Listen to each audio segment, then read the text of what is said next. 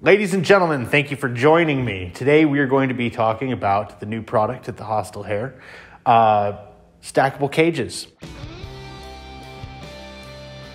In the past, we've used the stackable style, but they've all been individual uh, 36 by 24 by 15 inch cages. And you need a frame in order to suspend them above the pans. Well, with this new design, we are going to be making uh, a cage system that is 54 inches tall and it will have three 15 inch tall cage sections in it and allotting four inches in between each level to have space for a waste pan. What that will allow you to do is build a single cage unit that does not require a frame. When you get your order of stackable cages from Hostile Hare, you can get three in a box, and that is the cheapest way to ship them because three fit in the box. Uh, that's 37 by 25 by 3 inches tall. They flat pack, they come out of the box looking like this. And basically, you just build them like so. You want to make sure that the door opens out and that the half inch side of the cage is facing out as well. That's how I build my cages. It's when you purchase a cage from Hostile Hare, it comes semi-assembled. This top piece here, the two foot by three foot section, uh, is attached to all four sides, and the floor comes separate, and you just pin the sides together and put the floor in, and you're done. On the front of the cages, it's better to start at this junction here and go up. That way, if you connect it wrong here, you don't end up with kind of a weird bow in it. So you start here and work your way to the bottom, even though it's upside down currently, so this is the bottom. So we'll start in the corner, work our way up. So we actually throw one of these in with every order of three cages or more so that you have something to assemble. We also sell them on the site separate if you just get one cage or whatever, if you already have one. You get one of these black handled J-clip pliers with the purchase of three cages or more. Now you get some variance on the uh, materials. It's inevitable when they weld the wire together. Um, these spaces will vary about an eighth of an inch. So These are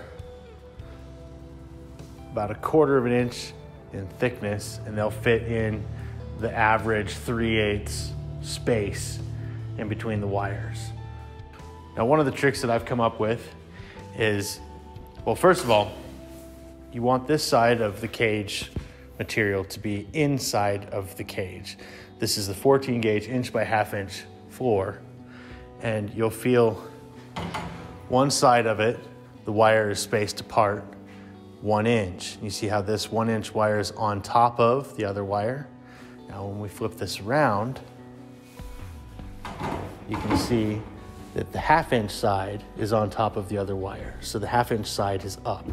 So you want this side to be up inside of the cage so that the rabbits can step on this and get the most amount of surface area to step on. So one of the tricks that I've learned building these cages is you you know you set it in like you're going to put it in just to make sure that it it's facing the right direction. But then I'm going to flip this out like so. And I'm going to put it against the, the front just hold it in place. And I'm going to assemble it outside of the cage first. So what you want to do is have a J-clip every four inches or so. You can put more in if you want to, but more is really unnecessary. Unless you're keeping baby pterodactyls in the cage, it'll hold up with just one every four inches. And if you can get your hands on some baby pterodactyls, let me know. I would like to purchase a couple, maybe a breeding pair. If you've got a stick or something that you can put through the cage to hold this up. It's very helpful. What that does is keeps it kind of in the general area so you don't have to keep picking it up each time.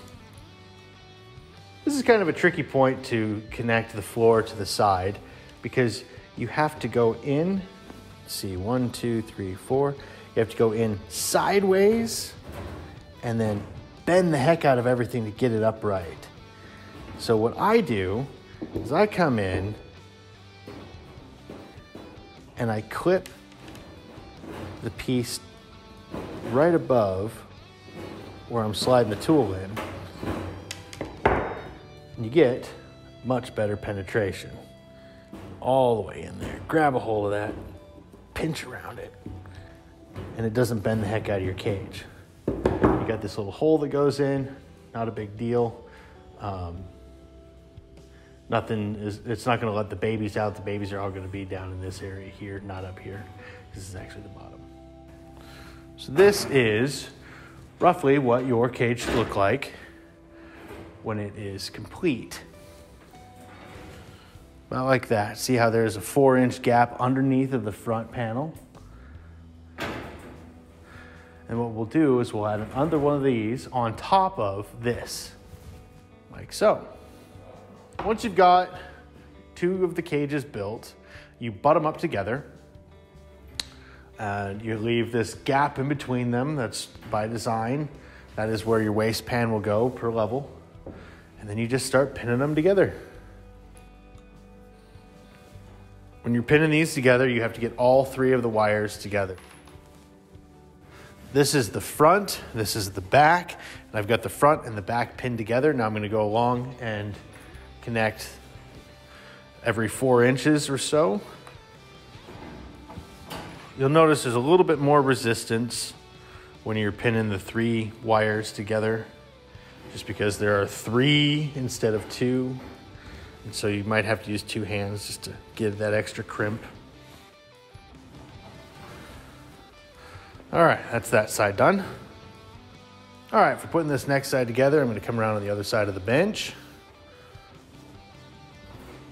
Get a little bit better angle.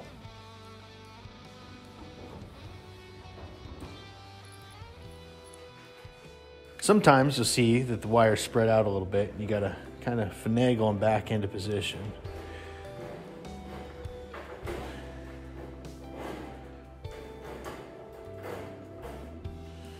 Like so. Make it small, nice and close.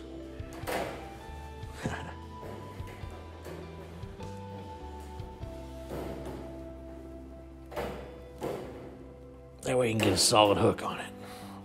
There we go. It's still wiggling a lot because we haven't pinned the back together yet, which we can do now. Now each cage order comes with enough clips to do the cage and to drop 40% of the clips that I send you. So if you lose 40% of the clips, you'll still be able to assemble the cage completely. All right, so this is the Hostile Hare Stacker cage. It's just a double built on its side, fully connected. We're gonna flip it like so. This gives you the ability to go vertically in your rabbitry. With this stackable cage system, we got away from the need of having an external frame. These two cages are pinned together and they share enough surface area that, you know, as you can see, there's not a whole lot of wiggle to them. They're very stout. There's enough space in there for an adult male or female rabbit, a female with the babies. There'd be actually a lot more space for a male because he doesn't need an S box. Um, but this is perfect for people that have a smaller shed or lean to or don't have a whole lot of space uh, to raise rabbits and they don't have all of the ample side to side room that you get on some of these big long rabbit runs. Uh, even a triple cage that we build is nine feet wide, whereas this fits in a three foot by two foot footprint and can go as many as four cages tall. I'm usually not an advocate for pull out pans, but sometimes you know, you have to raise your rabbits in an area where you can't spray the pans out. So you have to have a removable pan. And if that's what you have to do, this is the cage system to get that done. I appreciate you guys sticking around and watching me build this thing.